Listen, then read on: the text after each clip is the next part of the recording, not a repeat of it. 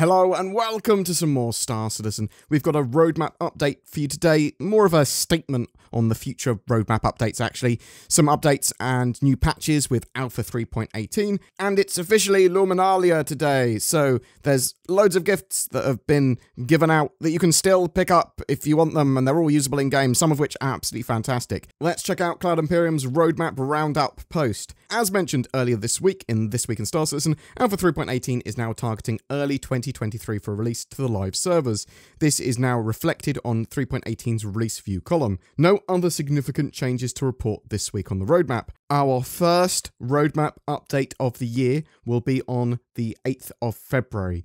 This update will include the extension of both upstream and downstream teams schedules further into 2023, as well as the addition of features into the 3.19 column. Cloud Imperium's wording is very important there because it doesn't appear that they're going to be talking much about the 4.0 column. So the most likely thing is that we're going to get the first two quarters of 2023 sort of um, conveyed to us, and that 3.19 will be in the second quarter, end of second quarter. But what about 3.18? Well, it looks like Cloud Imperium are trying to get ready for a release to open PTU for Friday. So, what does that mean? Well, that means that the test servers, the PTU servers, will be open to any backer of the game that wants to try them. Now, it's possible that they might not make that, but does look like it's very likely that they will just open up the PTU. So, yes, most Cloud Imperium staff go on holiday um, after work Friday until the new year. But there is also a skeleton crew that will be working and some overtimers, as far as I understand it. So,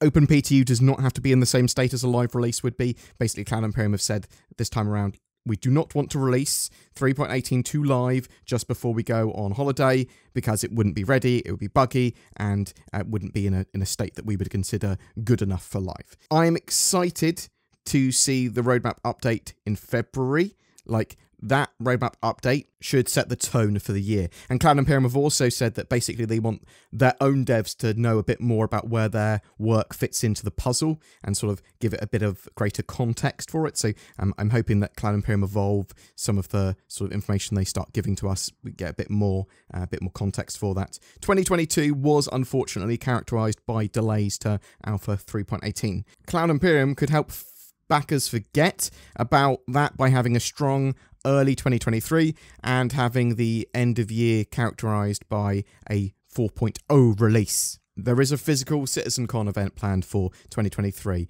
2022 was the record breaking year of funding for Star Citizen. It's smashed past $110 million in funding just in 2022, and 2023 could make even more. We've also had a new Wave 1 PTU patch for 3.18, 3.18.0S. Uh, it's still Wave 1. It's still on the US servers only, which um, is a bit of a problem. So the, the current sort of testing is a, a smallish group of players um, and content creators, concierge, and subscribers. All of that together is actually um, a little bit more than those servers can handle because Basic Cloud Imperium have opened it up to only a few servers and they're US region only. You can obviously connect to them if you're in the EU or wherever else, but you're going to have a lot more lag than you would otherwise have. Um, there's a load of testing data that Cloud Imperium are gathering, and they sort of apparently want this testing environment to be specifically like this before opening it up to Open PTU. So the most recent patch added um, multi tools and attachments to Grimhex shops. I need to check to see if they've added the multi tool attachments to Shubin at Microtech as well. Um, there are a load of bug fixes. No respawn transition screens um, have been fixed. Um, players not being able to return to the front end after dismissing a, a, disconnection error. There were numerous sections of interior geometry protruding through the exterior of the Corsair. The press X to respawn prompt remained on screen post respawn, and so that's all sorted. Uh, they fixed four client crashes and an additional 12 server crashes. There are a load of known issues still, though. So Ship and vehicles can disappear from a player's um, ASOP terminal after destruction. A retrieved ship delivered to a docking port will be missing collisions. That's again not ideal. Uh, items appear to not be removed when players sell them, um, so they can just keep on selling them if they keep on going back. Uh, walking on the hills near Whistler's Crypt can potentially kill or wound players. Equipped gear can be lost when a player dies in an armistice zone. Scanning is not showing advanced statistics and details. Elevator doors open mid transit. At least elevators are sort of kind of working sometimes. Uh, the Merlin will not undock from the Constellation. The Mercury Starrunner can only hold uh, 6 SU of cargo. The Reclaimer has no elevator interaction on the rear. Uh, there is a hitbox desync issue with ships and vehicles loot boxes load infinitely when you're trying to sort of um, get into them. Uh, elevators and trams are jittery during transit of players um, and transit of just themselves. Uh, it is possible for the vehicle HUD to vanish when the player's are uh, flying around and in combat. Multi tools say healing, regardless of what attachment you've got equipped. Uh, a couple of NPC spawning issues for missions are still there. Loot boxes can also sort of disappear um, when you sort of walking towards them or after opening them. There are still issues with the servers being full sometimes uh, due to the small amount of concentrated servers in the US.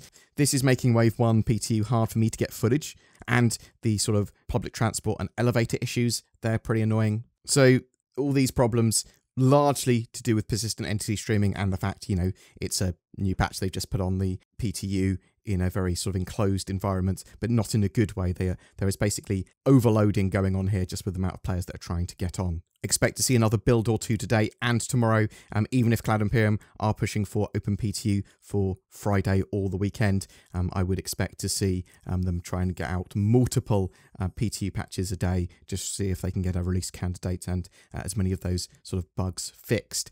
Luminalia! It is Luminalia day today, and there's been loads of gifts that Cloud Imperium have been giving away each day of Luminalia. Um, you can pick those up from the Luminalia calendar um, if you haven't already on the RSI website. So, um, and you can you've got until like January 10th to pick them up, I believe, as well. So don't worry too much if you haven't grabbed them yet.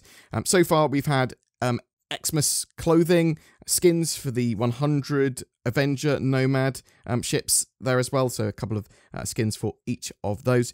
Uh, there's uh, jumpsuits, Christmassy jumpsuits, a sextant, um, but the current sort of most cool things for me are the Pico and Star Wall plush, sort of Christmassy outfits for them, because I do like these things. I think they're going to be silly and cool to just sort of place around in your ships or hangars or whatever in the future. But also, there have been a set of FPS weapons, a shotgun sniper, SMG, and LMG with Luminalia colorings. Now, these, these are really cool. They get added to your accounts, and then you have some great FPS weapons to start the game with.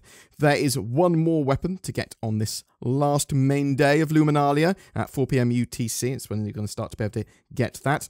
Um, but yeah, it's a really good set of gear. Shame there was no armor this year. Um, maybe next year. But I think most people are going to be very happy with those those gifts um, because there's no sort of like just pictures of handlebars for the HoverQuad. Boom! That's it for today's little update with what's happening with 3.18 and Luminalia and all that sort of jazz. I'm really looking forward to February next year. I know it's uh, a while out, but we've got 3.18 hopefully going to open PTU to keep us engaged until then. We also have Jumptown event starting at 4 p.m. UTC on Friday, the 23rd, and then running until the 4th of January. That is going to be your last chance to try Jumptown 2.0 before 3.18 releases and we get jump Jumptown 2.1, which is significantly bigger. But what do you think? Are we going to have a playable, fun, open PTU for 3.18 for the rest of the year and uh, moving into January? And you can expect 3.18 Live to release in January.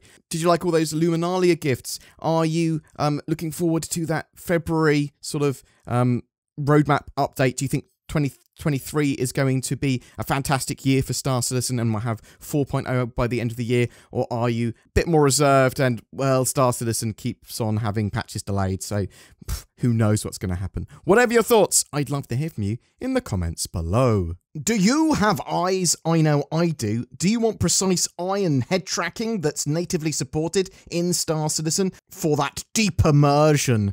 And it just so happens that Tobii Eye Tracker 5 has a 20% off sale until the 2nd of January 2023. So go to tobii.gg slash boredgamer or follow the links down below to get your discount. Ho ho ho! Merry Nordmas! It's Santa! No, Timmy, it's Father Nordmas. I'm legally distinct and spread NordVPN cheer. Here you go, little Tim. Have some discount on your next NordVPN purchase. Just what you wanted. Go to nordvpn.com slash boredgamer. But Santa, we don't want a VPN. I told you, Tim, it's Father Nordmas. Every month we have a ship giveaway. For December, we are giving away the mighty Drake Corsair Explorer with a Star Citizen game package and lifetime insurance. This no nonsense Explorer can take you and three friends to the limits of adventure around the verse. And although more focused on exploration and expedition, it is a great multi role mission runner too. Comment on any of my videos during December to be in for a chance of winning that. Thank you so much for supporting the channel. Please don't forget to like and especially subscribe to the videos, leave comments, and if you feel so inclined, use the join button under my videos and give a little bit each month to help the channel. It really, really does help. Or you can even become a Patreon or donate. Check out all the links below. Thanks very much for watching. Have a great time in the verse.